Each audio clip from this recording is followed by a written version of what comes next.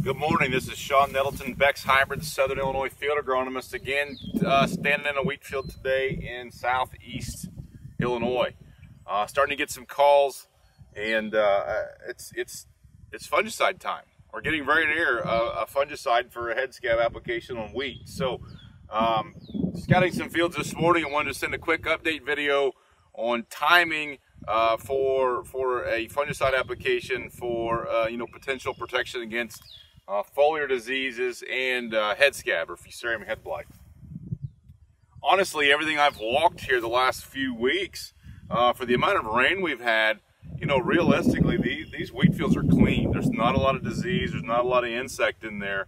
Uh, but with the rain forecast again this week, with many fields nearing heading, uh, you know, we're in a moderate uh, to maybe a touch higher risk of likelihood that uh, fusarium head scab or fusarium head blight could be an issue uh, here in 2019. And so just wanted to take a real quick minute to do a video and show you kind of where, uh, how to stage a wheat field for a fungicide application.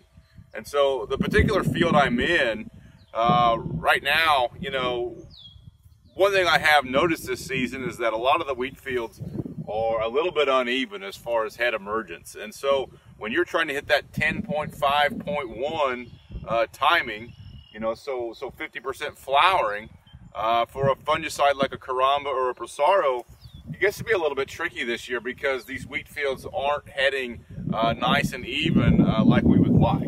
I think some of that stems from the fact that, you know, we had a, a little bit of a tough winter. We had a really cold fall.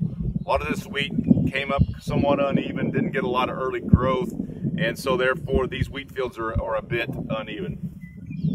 Uh, if you're looking at a product, so there's three products that you can use uh, for, for head scab control.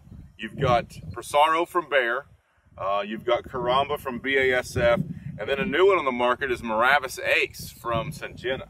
And so Miravis Ace, uh, one of the neat things about it is, is that its, its label for fusarium head scab protection is, is quite a bit wider than that of, of the Prosaro or the, or the Caramba. And so you can apply Miravis Ace from about 10.3, which would be 50% head emergence. So something like this right here, where I've got it in my hand, uh, you see these heads are emerging from the boot. Uh, this one uh, here in my, my right hand is a little bit further along than 50%. This one here, probably right at 50% emergence. And so if you can make an application, you know, say today, tomorrow, uh, you've got a window with this Miravis Ace product, um, you know, so 10.3 to 10.5.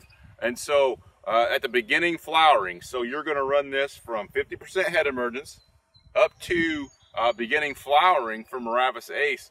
And, and it's got some uh, uh, xylem mobile properties that, that, that allows that uh, fungicide to translocate and give us some head scab protection and give us a wider window of application.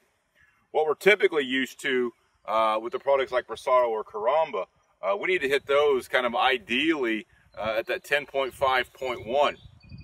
Uh, a lot of folks would believe that uh, they would rather be a little bit late, or excuse me, a little bit early than late. But there is some data out there that suggests that those applications uh, that, that can be made, um, you know, up to a few days later on those products can still provide really good control of fusarium uh, head scab. Matter of fact, I'm going to step right over here, just right next to me. Uh, I just found this head. We've got one here. And so I talked about the majority of this field you know, being 50%. This head's fully emerged. Here's one here that has undergone stem elongation and it's beginning to flower. It's actually probably about 50% flowering.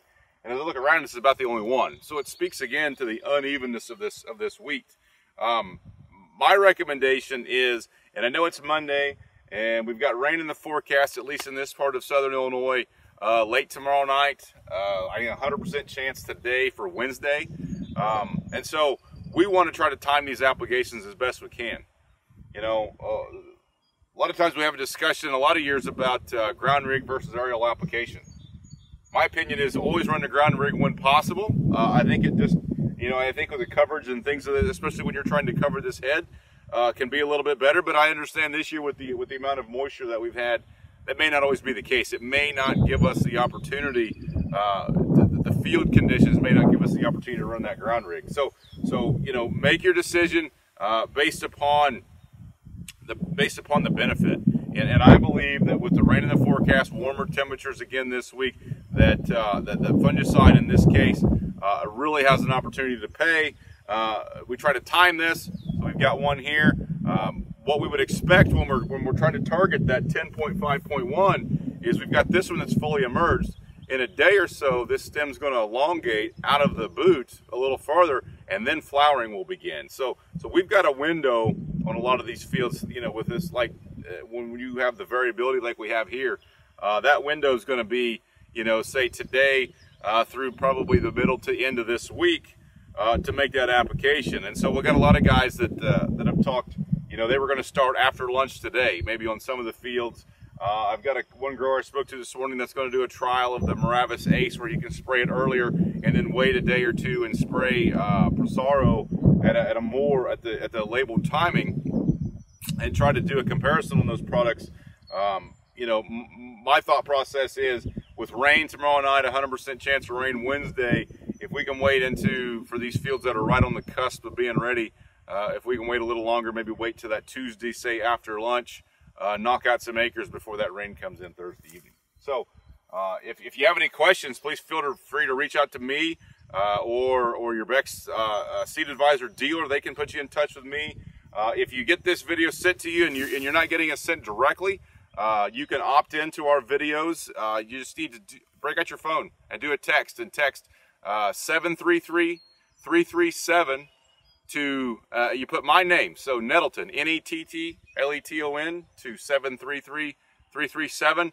Uh, it'll give you an opt-in and you'll start receiving these videos and, and agronomy updates directly to your phone. Thanks, have a great day.